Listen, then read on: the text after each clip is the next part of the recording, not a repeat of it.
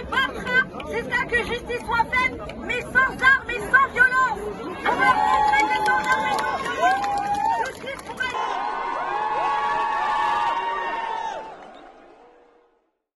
Alors ce cri-là, c'est suite aux événements qui se passent donc contre, euh, contre les Noirs, euh, que ça se passe en Amérique ou en France.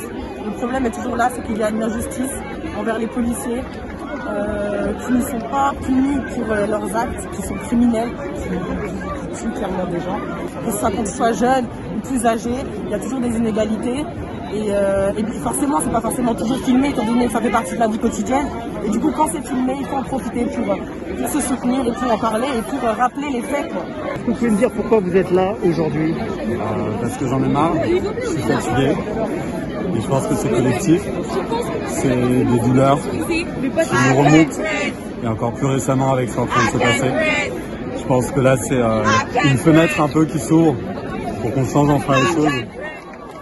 Je suis ici aujourd'hui pour euh, rendre la justice à un noir, un noir de France, qui est qui a été torturé et c'est vraiment impardonnable. Là, je n'arrive même plus à je, je ne pardonne pas à la France pour ça.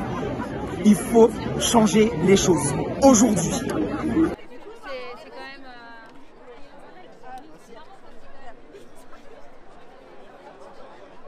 Adama a pris le poids de trois gendarmes sur lui. Euh, George Floyd a pris le poids de trois policiers sur lui.